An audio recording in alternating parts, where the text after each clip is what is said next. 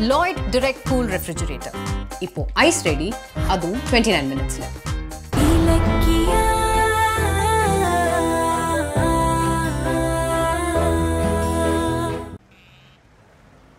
அக்கா. ஒரு பால் பாக்கெட் கொடுங்க. ஆ. இந்தாம்மா.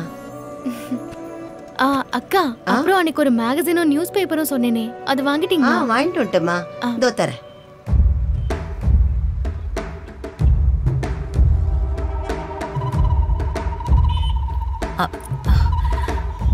இந்தாம்மா. இலக்கியா இவ இங்க என்ன பண்ணிட்டு இருக்கா என் ஹஸ்பண்ட் பிசினஸ் பண்ண போறாரு அதுக்கு தான் கேட்டேன். வேற ஏதாவது வேணுமாம்மா? ஆ, இருங்க யோசிச்சு சொல்றேன். கௌதமும் இலக்கியாவும் எங்கேயோ போயிட்டதா அஞ்சலி சொன்னா? ஆனா இவ இங்க இருக்கா? ஒரு பிஸ்கட் பாக்கெட் கொடுங்க இதோ தரேம்மா. ஓகேக்கா. அப்புறம் வேற ஒன்றும் இல்லைக்கா. அவ்வளோதான் ஆ, இவ இங்க தான் இருக்கான்றத உடனே அஞ்சலி கிட்ட சொல்லணுமே.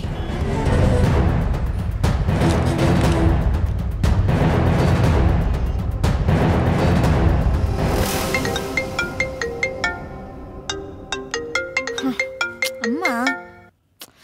சொல்லுமா. அஞ்சலி இலக்கியாவும் கௌதமும் ஊரை விட்டு போயிட்டாங்க. உன் கண்ணிலேயே படலைன்னு சொன்ன ஆனா இலக்கியாவை பாத்துட்டேனே இப்போ. என்னம்மா சொல்ற? அவளை எங்க பாத்தீங்க ஆமாண்டி இங்கதான். காந்தி மார்க்கெட் பக்கத்துல. அப்படியா? இலக்கியம் மட்டும்தான் இருக்காளா? இல்ல இந்த கௌதமும் இருக்கானா? கௌதம் இல்ல. இலக்கியா மட்டும்தான் நிக்கிறா. கடையில ஏதோ வாங்கிட்டு இருக்கா. அக்கா எவ்வளோ ஆச்சு? ஆ நூறுரூபா ஆச்சுமா? அங்க என்னம்மா பண்றா அவ? ஒருவேளை அந்த ஏரியால தான் கௌதம் இலக்கிய தங்கியிருக்காங்களோ? ஆ, அப்படிதான் நினைக்கிறேன். கையில இந்தாங்க. ம் பால் பாக்கெட் பேப்பர்லாம் வச்சிருக்கா? சரிக்கா நான் வரேன்.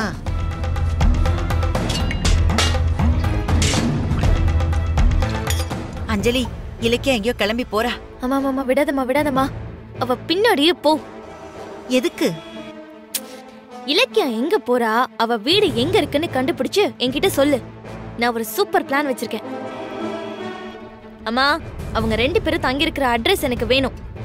சீக்கிரம் போமா போ நிக்காத நிக்காத போ. சரி சரி. நீ கட் பண்ண. நான் அவளை ஃபாலோ ஆ சீக்கிரம் போ.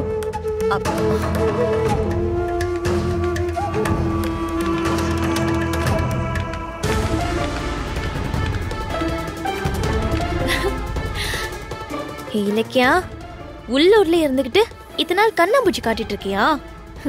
அன்னைக்கு என்கிட்ட இருந்து தப்பிச்சிட்டேன். இன்னைக்கு உன் அட்ரஸ் கண்டுபிடிக்கிறேன். அதுக்கப்புறம் உங்க ரெண்டு பேருக்கும் வைக்கிறேன் வேட்டை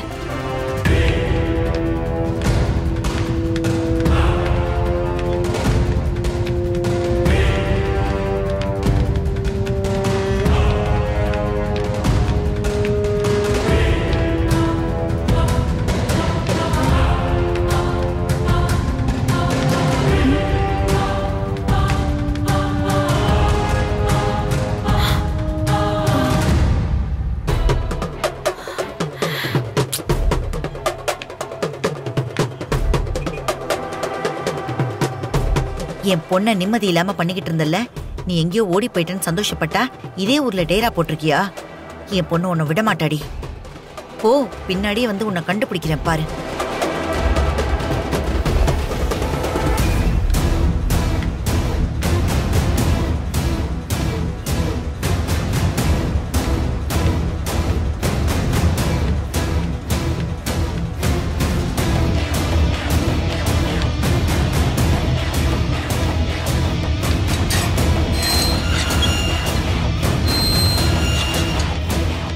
ஓ இவ இங்கே தான் தங்கியிருக்காளா? இரு அஞ்சலி கிட்ட சொல்றேன்.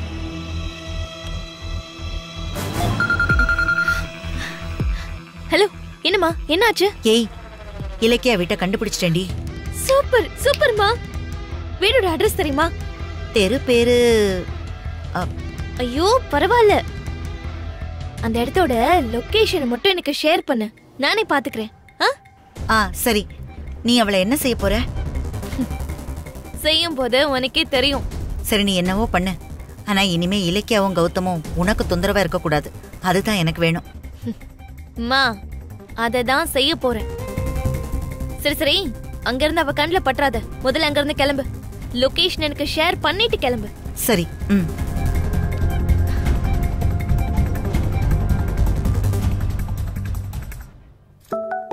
லொகேஷன் வந்துருச்சு. ம். இலக்கியா உன் அட்ரஸ் கண்டுபிடிச்சிட்டேன் இனி உன் அட்ரஸே இல்லாம ஆக்கிடுறேன்?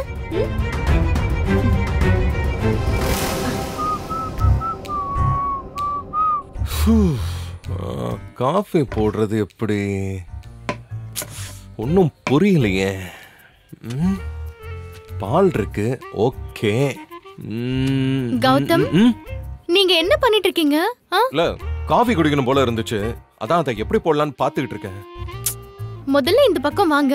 ம்? ம். நான் பாத்துக்கிறேன் ம் இந்தாங்க பிசினஸ் மேகசின் உங்க ஆபீஸ்ல நீங்க விரும்பி படிக்கிற புக் இதானே? உங்களை மாதிரி பிசினஸ் மேன் எல்லாம் கெரியரை டெவலப் பண்றதுக்கு இந்த புக் ரொம்ப ரொம்ப அவசியம். கிச்சன் பக்கம் வரத விட்டுட்டு முதல்ல பிசினஸ் மேனா லட்சணமா இந்தாங்க இது போய் படிங்க. ம் புடிங்க. நான் உங்களுக்கு காஃபி போட்டு எடுத்துட்டு வரேன். உத்தரவு மேடம்?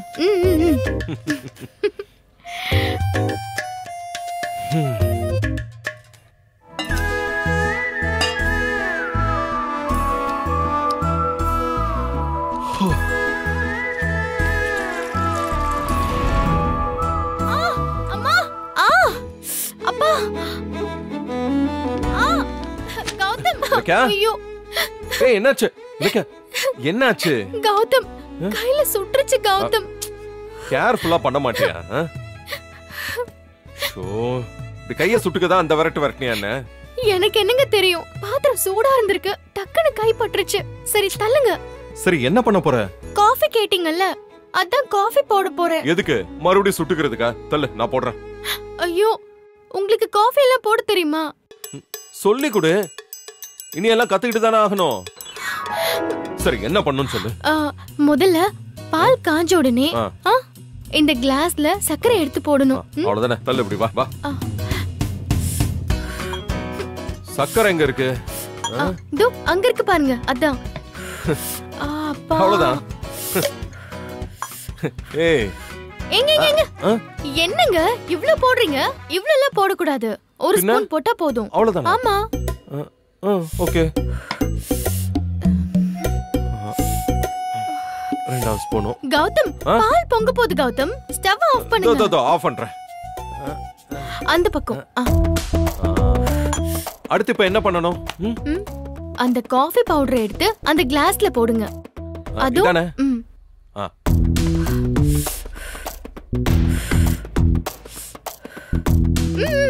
ஒரு ஸ்பூன் ஒன்றரை ஸ்பூன் அளவுக்கு போட்டா போதும்.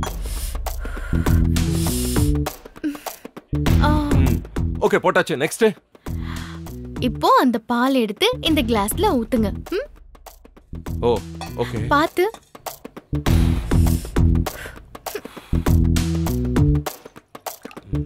ஆ போதும். சரி இப்ப என்ன பண்ணணும்? ஒரு ஆத்து ஆத்துங்க. அப்படி இல்ல அந்த கிளாஸ் எடுத்து ஆத்துங்க. ஓ. இப்படி.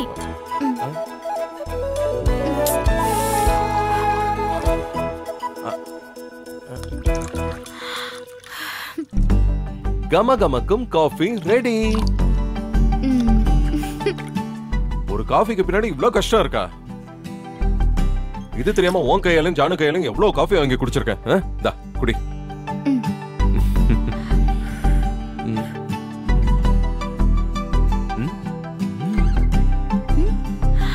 கௌதம்? காஃபி சூப்பரா இருக்கு கௌதம். ஏய் சும்மா சொல்லாத. ஐயோ சத்தியமா? அப்படியா? இந்த கௌதம் காஃபி போட்டா அது நல்லா இல்லாம போயிருமா? நல்லா இல்லாம போயிடுச்சே. ஏன்னா இந்த கௌதம் இப்போ கெட்ட பையன் ஆயிட்டு வரான்? யாரு? நான் கெட்ட பையனா? நான் நல்ல பையன். போய் ஊர்ல என்ன பத்தி கேட்டு பாரு அப்ப காஃபி போட்டு கொடுத்ததுக்கு கிஃப்ட் என்ன வேணும்? உனக்கு தெரியாதா? என்ன?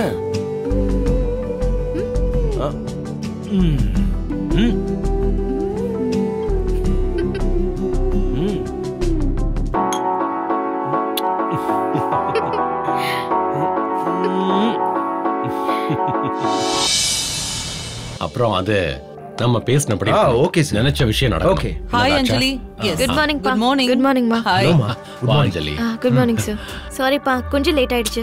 அத விடுமா. ஆமா நான் சொன்ன மாதிரியே கௌதமும் இலக்கியாவும் தங்கி இருக்கிற அந்த இடத்த நீ எப்படி கண்டுபிடிச்ச? இந்த அஞ்சலிய யாரு நினைச்சீங்க? நினைச்சதை சாதிக்கிறவ குறி வச்சேன்னு வைங்க. தப்பவே தப்பாது. ஆமா எதுக்கு இப்ப என்ன அவசரமா வர சொன்னீங்க? அஞ்சலி நாம நினைச்ச மாதிரி கௌதம் இலக்கியாவோட அட்ரஸ் கிடைச்சிருச்சு. அப்புறம் அடுத்த வேலையை ஆரம்பிக்கணும்ல? அதுக்கு தான் உன்னை வர சொன்னோம். ஆ, அடுத்தா? அடுத்த வேலையா? என்ன வேலை? ம். சார். ம். ம். இந்தாங்க மேடம்.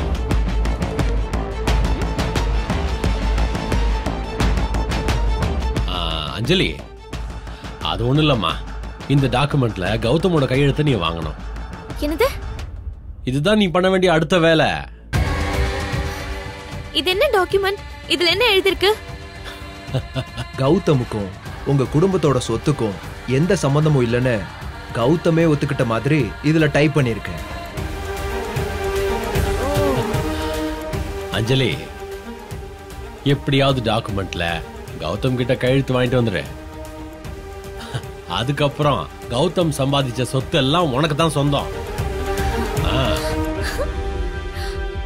அதுக்கு எதுக்கு டாக்குமெண்ட்ல கையெழுத்து வாங்கணும்? அதான் கௌதமே எனக்கு ஏதோ வேண்டான்னு வெளியில போயிட்டானே. அப்போ சொத்தெல்லாம் தானாவே கார்த்திக் பேருக்கு வரதானே செய்யும்? அப்படின்னு நீ கனவு கண்டுட்டு இருக்க கௌதம் செத்தாதான் சொத்து முழுக்க கார்த்திக் பேருக்கு தன்னால வரும். ஆனா அவன்தான் உசுரோட சுத்திட்டு இருக்கானே. திடீர்னு கௌதம் மனசு மாறி வீட்டுக்கு வந்துட்டானா? அப்புறம் என்ன பண்ணுவ? என்னம்மா இப்படி குண்டு தூக்கி போடுறீங்க? இப்படி நீ அதிர்ச்சி ஆகி பின்னாடி என்னைக்காவது அழக்கூடாதுன்னு தான் இப்பவே முன்னெச்சரிக்கையா இந்த டாக்குமெண்ட் ரெடி பண்ணிருக்கோம். அப்ப இதுல கௌதம் கையெழுத்து போட்டா சொத்து எனக்கு வந்துருமா? உடனே வராதுமா. கௌதம் தத்து பையனா இருந்தாலும் எல்லா சொத்துலயும் அவனுக்கும் பங்கு இருக்கு. சோ சொத்தை கார்த்திக் பேர்ல மாத்துறதுக்கு இத ஒரு நோ அப்ஜெக்ஷன் சர்டிபிகேட் மாதிரி யூஸ் பண்ணிக்கலாம். ஓகே. அப்படியா? கௌதம் வீட்டை விட்டு போனாலும் லீகலா அவன் இன்னும் வெங்கட்ராமன் ஜானகியோட புள்ளதான் புரியுதா? அவனை மொத்தமா அறுத்து விட்டுட்டு தெருவுல நிக்க வைக்கணும்னா இந்த டாக்குமெண்ட் ரொம்ப ரொம்ப அவசியம். ம் நீ கௌதம் கிட்ட சைனை மட்டும் வாங்கிட்டு வந்துரு. ரிஜிஸ்ட்ரேஷன்லாம் நாங்க பாத்துக்கிறோம். என்ன? அப்பா எனக்கு இது ஒரு மேட்ரே இல்ல. கௌதம் கிட்ட நான் கையெழுத்து வாங்குறேன். ம்? அது அவ்வளோ ஈஸி கிடையாதுமா. இந்த டாக்குமெண்ட்டை படிச்சு பார்த்தா கௌதம் நிச்சயமா சைன் பண்ண மாட்டாரு. ஏன்னா இந்த டாக்குமெண்ட்ல கௌதம் கையெழுத்து போட்டுட்டா அதுக்கப்புறம் கௌதமால இந்த சொத்துல எந்த உரிமையை கோர முடியாதுன்னு அவரே தெளிவா தெரிஞ்சுக்குவாரு. சார் இந்த அஞ்சலிய பத்தி உங்களுக்கு தெரியாது. மகுடிய ஊதுற விதத்துல ஊதுனா ஹ, கௌதம் ஆடிக்கிட்டே நான் சொல்ற இடத்துல கையெழுத்து போடுவான்.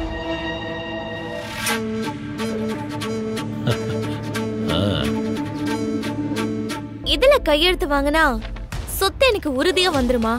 அத மட்டும் ஸ்ட்ராங்கா சொல்லுங்க. ஹண்ட்ரட் பர்சன்ட் உனக்கு தான்மா வந்துரும்.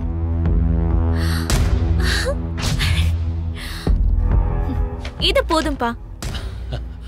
கௌதம் கிட்ட டாக்குமெண்ட்ல கையெழுத்து வாங்க வேண்டியது என்னோட பொறுப்பு. சொத்துக்காக தானே நான் இவ்வளவு நாள் போராடினேன்? என் கனவே முழு சொத்தும் என் கைக்கு வரணும்.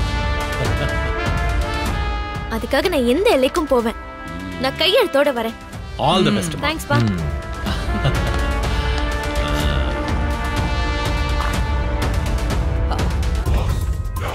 என்னங்க? கௌதம் ரொம்ப புத்திசாலி. அவனை ஏமாத்தி அவன்கிட்ட சுலபமா அஞ்சலி கையெழுத்து வாங்கிடுவாளா? அஞ்சலி வறுமையில இருந்தவ.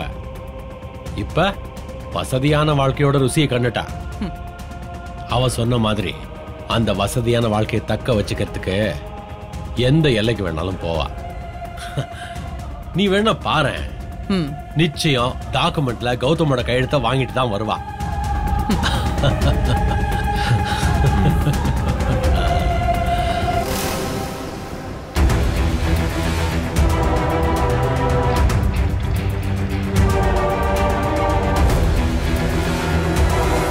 இன்னைக்கு எப்படியாவது கௌதம பார்த்து சொத்து பத்திரத்துல கையெழுத்து வாங்கிடணும். கார்த்திக்கும் அத்தையும் கௌதம் இலக்கியாவை திரும்ப வீட்டுக்கு கூட்டிட்டு வந்துட்டா அப்புறம் எனக்கு சொத்து முழுசும் கிடைக்காது. அதனால இப்பவே உஷாரா கௌதம் கிட்ட இருந்து மொத்த சொத்தையும் புடுங்கிடணும்.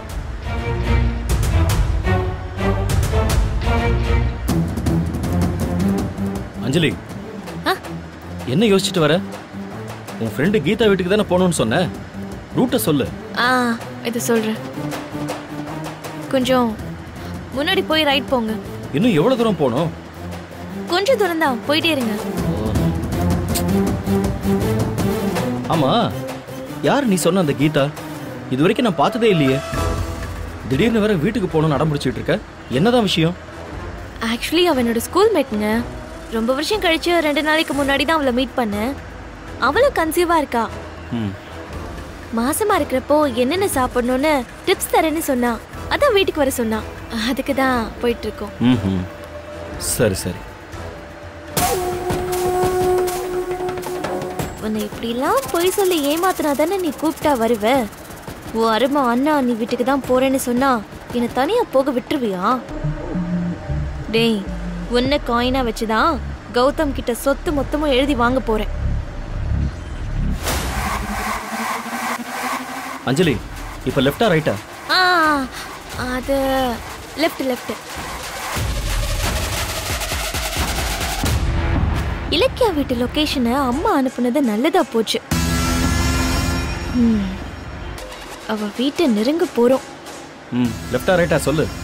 ஆ ஆ ஸ்ட்ரைட்டா போயிட்டே இருங்க கார்த்திக். அப்படிதான் காட்டுது. ம்.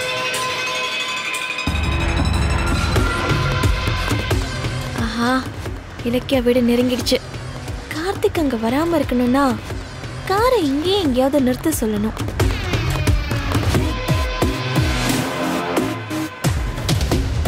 ஆ கார்த்திக் அந்த லெஃப்ட்ல மரத்துக்கிட்டே நிறுத்திக்கோங்க. ம் அங்கேயா? ஆ.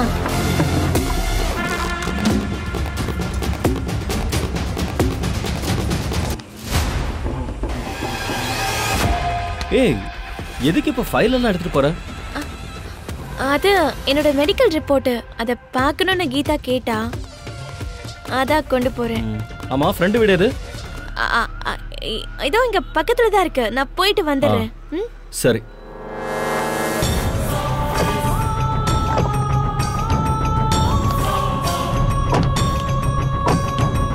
ஆ கார்த்திக் கார்த்திக். ஒரு நிமிஷம். நீங்க எங்கே இருங்க. நான் மட்டும் போயிட்டு வந்துடுறேன். என்ன? நீ மட்டும் போறியா? நானும் கூட வரேனே. இல்ல அவ ரொம்ப ஷை டைப்பு ஹஸ்பண்ட் வேற வெளியில போயிருக்காராம் அவ வெளியாம்பளைங்கள பார்த்தா கம்ஃபர்டபுளா ஃபீல் பண்ண மாட்டா. நீங்க வெயிட் பண்ணுங்க. நான் பத்து நிமிஷத்துல வந்துடுறேன். அப்ப தேவையில்லாம என்ன எது கூட்டிட்டு வந்த? நீ மட்டும் வந்திருக்கலாம்ல? எதுக்கு இப்ப கோவப்படுறீங்க? வயித்துல குழந்தைய வச்சுக்கிட்டு நான் காரை டிரைவ் பண்ண முடியுமா? அதான் உங்களை துணைக்கு கூட்டிட்டு வந்தேன். கொஞ்ச நேரம் பொறுத்துக்கோங்க ப்ளீஸ் பேசிட்டு உடனே வந்துடுறேன். ம். சரி போயிட்டு வா. ஆ.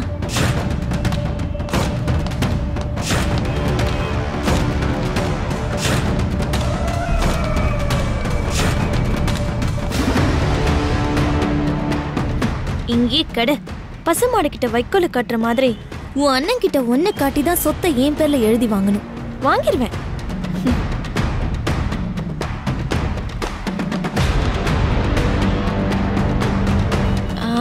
இந்த வீடு தான் காட்டுது.